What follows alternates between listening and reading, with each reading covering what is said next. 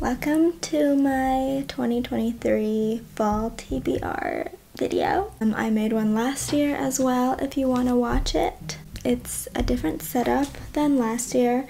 It's still very hot, like 31 degrees, but we will have to make do. I lit a candle, so this is what will be accompanying us throughout this video. I can't put it behind me, so I mean, I'm not gonna hold it either, but just letting you know the vibes are set.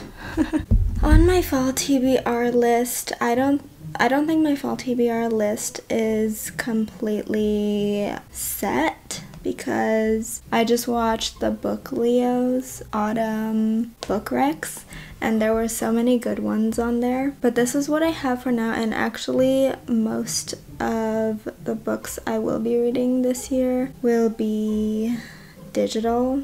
I want to get a few more but I just haven't gotten them yet because some are going to be new releases and it's really hard to get books where I live because English is not the language here. But I do only have two physical books right now. So let's get started. Wait, I have another one actually. Oh my gosh, I almost fell while trying to get it. I have another one, and it's the first one, which is The Sun and the Star. I just made a The Sun and the Star reading vlog if you want to go watch it because I do talk about that more in depth. Yeah, I actually read this already. It was the first book on my list to venture into fall and it was the perfect book because it's set in fall and it follows Nico di Angelo and Will Solace from the Percy Jackson universe and they have to go to Tartarus to save Bob, who is a titan that Percy Jackson pulled into the River Lethe to wipe all his memories and convinced the Titan that his name is Bob and that he is a good person. so, yeah, Bob is still down there. And this just follows their journey down into the underworld and Tartarus and the way it challenges their relationship, which is so cute like the grumpy and sunshine vibe I loved and I love the representation in this book and just in the Percy Jackson universe. This is the third time this year where I read a book that dealt with going down into hell. So that is very fall, a perfect way to kind of start fall with a cute middle grade book. And the second book on my TBR is The Very Secret Society of Irregular Witches, which I actually just started reading a few days ago. I'm really bad at describing books, so just bear with me here. But this is a fantasy novel set in the English countryside, and we follow this witch named Mika Moon who grew up as an orphan without really any family. She was adopted by another witch because for some reason in this world the witches all end up at, as orphans very early on in their lives and they've learned to not really be close with any other witches because too many witches together always attracts unwanted attention as history has witnessed. Yeah, so all the witches basically grow up in isolation and lead very lonely lives. Mika decides to start posting witchy videos on YouTube because that's like a very popular thing and she is obviously not doing anything to give away that she's a real witch. But then someone in the English countryside called the Nowhere House kind of realizes that she's a real witch, and they have three little witches in their house growing up without any sort of parental ish figure to give them guidance on how to be witches, how to control their power. So they reached out to Mika and were like, We need a live in tutor for our witches, please. So she goes and finds this beautiful house in the English countryside near the sea, and there's sort of an odd mixture of people there. There's this old couple um, this man named Ian and his husband Ken, as well as Lucy and Jamie, who is a librarian, and he's kind of the love interest in the book. And I just love the way he did he is described. Like I feel like I'm going to love this so much. It's just a very cute, cozy little novel about found family. That's really the trope that got me so excited for this book because from when some other booktubers were talking about how much they enjoyed this book and I really love the found family trope. So, yeah, it's another cute and cozy early fall read. also, I am sweating right now because that's just how hot it is. Okay, the third book is Hellbent by Leigh Bardugo. I've talked about this book on my channel so many times now. I read this earlier this year, back in March and April, and I've wanted to reread it since. So, this is another perfect fall book. This is a sequel to Ninth House.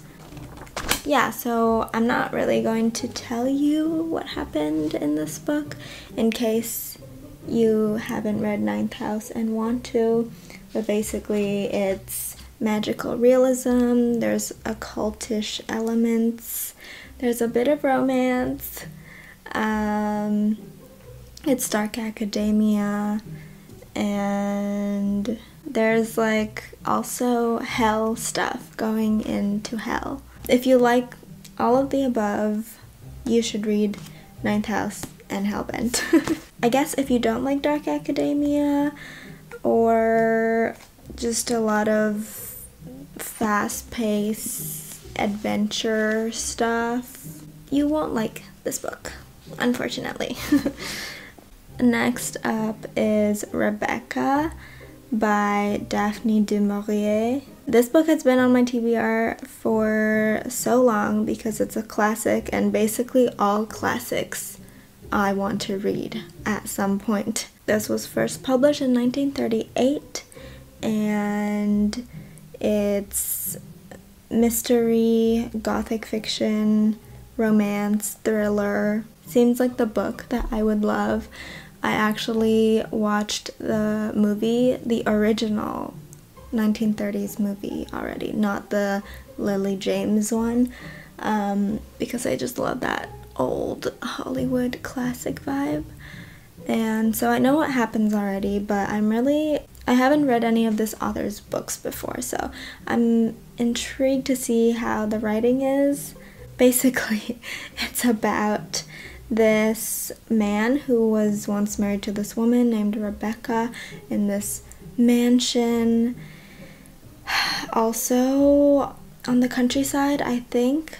And apparently Rebecca died a year ago and it's been haunting this man ever since. But he, he meets this woman who's in a lower social class and they get married and that woman is just trying to get used to the life of being the lady of this house with all these maids and servants and butlers. Everyone seems to hate her because they're like, Rebecca was better than you, and Rebecca was just all class. But then she starts to sense that something is not right here. And you kind of find out what really happened to Rebecca. And then I'll be reading A Dowry of Blood by S.T. Gibson. This book came out two years ago and it's been on my TBR for a while as well. But I never got it before, and now I wish I had because this book was actually originally self published, and the cover is so gorgeous. But it got traditionally published this year, so I think that's why I've been seeing it everywhere on Instagram again, and now it has this cover. Which, like, why? Why did they do that? Why did they make it why did they level down? You know, that's so unfair because now the original version is out of print. I think this is another one of the books that I will really love because it's also gothic. It tells the story of Dracula, but from the POV of one of his brides, Constanta, and it basically follows them throughout centuries and their relationship, which is kind of toxic. And yeah, that's really all I know about it. But I think it will be really good. I think it may be a little bit triggering as well, which is why I never bought it before. But like I said, I really wish I had that old version. And then I'll be reading Bluebeard's Castle, which is actually a book by Anna Biller, who directed The Love Witch. Oh my gosh, I never expected this. This book is coming out on October 10th, so I doubt I'll be able to get a physical version of this. But this is a subversive take on the famous French fairy tale of the same name that was written by a man, I think. I don't really know what it's about, but there's a secluded Gothic castle. Part of it is in Paris, and there's also charm and violence, and this young writer meeting this handsome and charming baron hmm, and then all these like all these dark things. But what really intrigues me is that it is filled with dark humor and evocative imagery, and how it's a subversive take on modern romance and gothic erotica. Need I say more? That sounds right up my alley. It's also gothic. I mean, just look at this cover. Beautiful. And then I will be reading Bitterthorn by Kat Dunn. Just another witchy fantasy, romance, gothic fiction book. Like pretty much every book here is is gothic. It tells the story of this witch who lives in the forest. Every year she comes into the town to claim a companion and then that companion is never seen again. But this year, she claims a woman, so it is LGBT. That's basically all I know. Like, she's claimed to be this witch's companion, and they go into her secluded little place and they fall in love, I guess. and then I want to read House of Hunger, which is another vampire book. I actually don't care much for vampires, but somehow I always end up reading a vampire book. I guess because it's very gothic.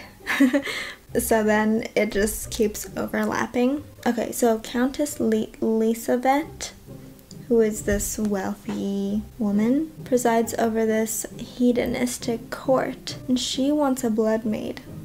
So the main character, Marion, goes and applies for this position. And um, yeah, and there's a bit of mystery, and it's very sensual from what I can tell, which is something else I love in a book. Then I'll be reading Rouge by Mona Awad. I already talked about this in my mid-year reading check. But Rouge is going to be another new release and it deals with beauty standards and also a spa, which makes me so excited because it's giving the same vibes as her book Bunny, which I loved. There's this lavish culty spa called La Maison de Méduse, and there's dark humor, seductive horror, brimming with California sunshine and blood red rose petals. Another gothic novel, and some fairy tale vibes, kind of. It's giving me, and also mother daughter aspect of it. I just know that I will love it. I'll be reading Neferura, which is an arc I received from NetGalley, and it is a retelling of Princess Neferura from Egyptian mythology. I do love a retelling, so I think I will enjoy this one as well. This is not coming out until February 2024. Neferura was actually the princess and high priestess of Kemet, and basically, it is a retelling of her story of being an Egyptian priestess. So, very, very cool. And the last book on my list, which is not definitive, I could always be adding more cozy novels.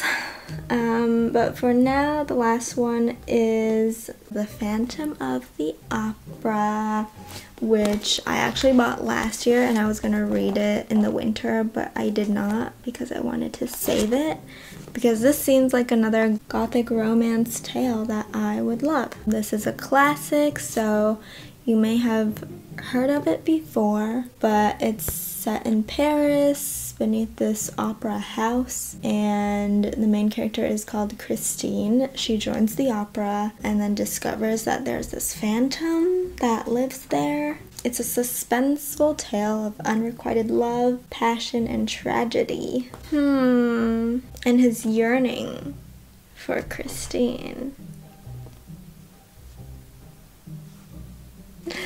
So, that is all for my fall TBR. I hope you found one or two books that you would like to add to your fall TBR or regular TBR. I would love to hear in the comments what books you are going to be reading this fall or just perfect fall recs. And thank you for watching. I'll see you next time.